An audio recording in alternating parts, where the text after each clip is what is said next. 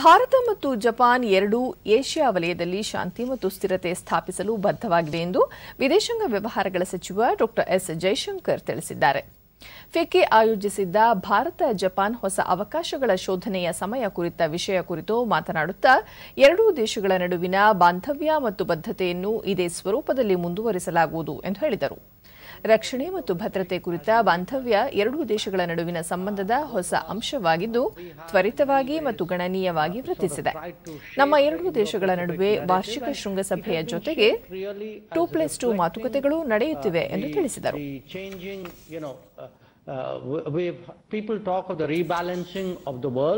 There's also been a rebalancing of asia uh, and uh, you know there's been very fundamental changes uh, in the uh, strategic landscape of Asia. And I think uh, today the, uh, the seamlessness of what happens in the Pacific and the Indian Ocean uh, regions uh, underline the importance and the relevance of the Indo-Pacific.